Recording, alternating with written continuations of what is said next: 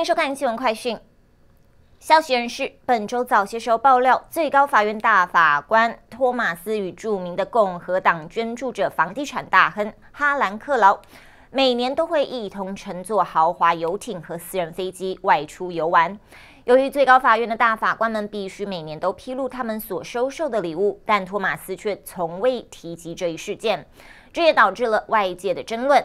今天，大法官终于回应称，他认为报告礼物内容的这一规定并不适用于像他这样的个人招待，而且两人已经成为朋友超过二十五年，因此这样来自亲密好友的好意没有必要在报告中提出。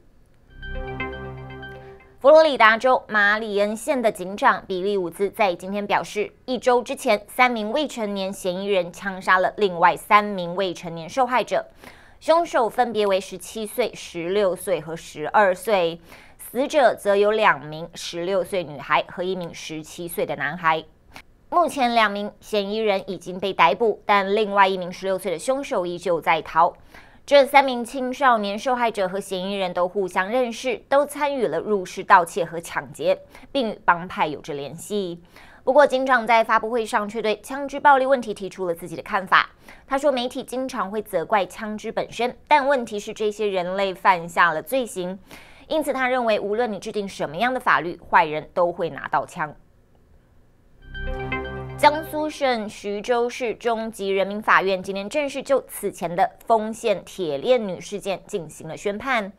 被告董志明，同时也是名义上这一名铁链女的丈夫，犯有虐待、非法拘禁等罪行，被判有期徒刑九年。其余还有五名买卖铁链女的人，也因贩卖妇女罪被判入狱八至十一年。这名目前被诊断出患有精神分裂症的妇女，在落入董志明的手中之前，曾被卖过两次，售价仅为五千人民币，大约七百美元。根据法院的说法，铁链女来自云南，原名小花梅。法院称，在一九九九年至二零二零年期间，两人育有八个孩子，但董志明却极其残忍地将女子关在了一个没有阳光、电器和水源的土房子之内，还把铁链锁在了她的脖子上。极为凄惨的画面被一个自媒体曝光之后，就引起了中国互联网的强力抗烈。如今，这一事件也终于告一段落。最初由《纽约时报》爆料，今天一份据称来自北约核五角大楼关于乌克兰的机密文件被泄露给了多个社交媒体，其中包含有关向乌克兰运送武器、兵力和支出的敏感信息。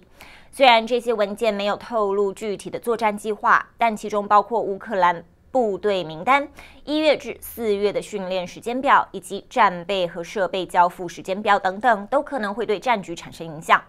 五角大楼表示正在调查此事，但泄露的来源尚不清楚。纽约时报也在今天写道，这些文件的某些部分与原始资料出现了落差，夸大了乌克兰方面的死亡人数，但低估了俄罗斯军人的阵亡人数。乌克兰总统办公室也在今天回应称，这些文件最早从昨天出现在社交媒体上，其中包含了大量虚构信息。乌克兰方面认为，这些只是俄罗斯情报部门操作游戏的标准元素，仅此而已。